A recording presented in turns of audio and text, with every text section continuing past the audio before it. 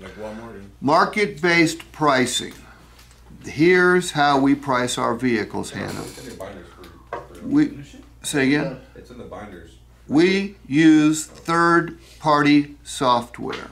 The same type of software used by Target, Walmart, Delta Airlines, Marriott hotel chains.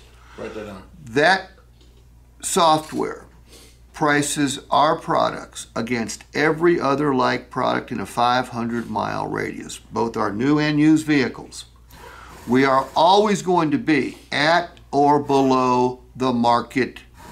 As a matter of fact, one of the reasons you called or you inquired about our vehicle was the price had to be fairly attractive, didn't it? So the customer will answer their own question. Yes.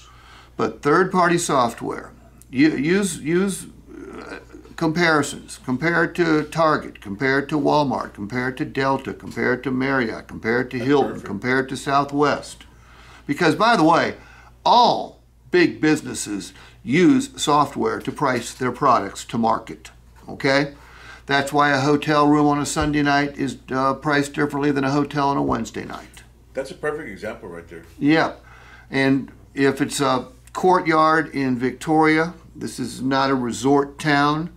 The cheapest nights of the week to get a hotel room there are going to be Friday, Saturday, Sunday. Now, if it was in a resort town, those would be the most expensive nights.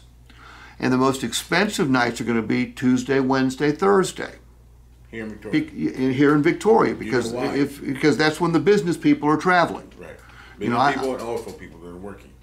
I'm at the. I've been at the hotel for two nights. I haven't seen any uh, tourists, but I've seen lots of business people.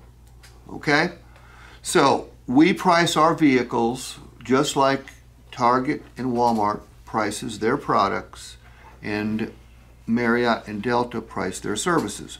I fly out on Sunday afternoons rather than Monday mornings. Why? Cheaper airline tickets. cheaper ticket on Sunday afternoon. Most expensive ticket is on Monday morning. Cheapest ticket the entire week is on Tuesday because that's when the, the fewest business flyers fly. So we're pricing our vehicles just like other industries price their products and their services. And you know what?